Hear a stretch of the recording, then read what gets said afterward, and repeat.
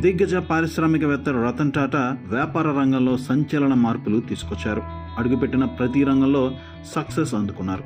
అయితే రతన్ టాటా సినిమా రంగంలోకి కూడా ఎంట్రీ ఇచ్చారనే విషయం చాలా మందికి తెలీదు. రతన్ టాటా నిర్మాతగా ఓ బాలీవుడ్ సినిమాను నిర్మించారు. రెండు వేల నాలుగులో సినిమా రంగం పైన ఆసక్తితో మేకింగ్లోకి అడుగుపెట్టిన రతన్ టాటా విక్రమ్ భట్ దర్శకత్వంలో వచ్చిన ఎయిట్ బార్ అనే సినిమాను నిర్మించారు. ఈ సినిమా కోసం టాటా ఇన్ఫో మీడియా పేరుతో ప్రొడక్షన్ కంపెనీ కూడా ప్రారంభించారు. అయితే అమితాబ్ బచ్చన్ జాన్ అబ్రహాం బీపాసా బసు నటించిన ఈ రొమాంటిక్ థ్రిల్లర్ మూవీ పంతొమ్మిది వందల తొంభై ఆరులో వచ్చిన హాలీవుడ్ ఫియర్ మూవీకి రీమేక్గా వచ్చింది.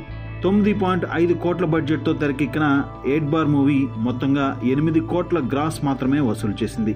ఇందులో తొలి వారంలో ఐదు కోట్లకు పైగా రాబట్టగా ఆ తర్వాత పూర్తిగా డల్ అయిపోయింది. ఈ సినిమా కారణంగా నష్టాలు ఫేస్ చేసిన రతన్ టాటా మళ్ళీ సినిమా నిర్మాణం జోలికి వెళ్ళలేదు.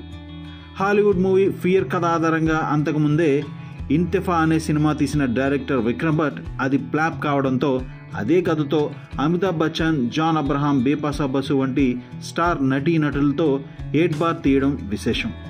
మేకింగ్ విషయంలో తీవ్రమైన విమర్శలు బాక్సాఫీస్ దగ్గర అట్టర్ బ్లాప్ అయిన ఇంతెఫా మూవీ విడుదలైన మూడు నెలల గ్యాప్లో ఎయిట్ బార్ మూవీ రిలీజ్ అవడం కొసమెరుపు ఇది కూడా ఎయిట్ బార్ సినిమా ఫ్లాప్ కావడానికి ఓ కారణం.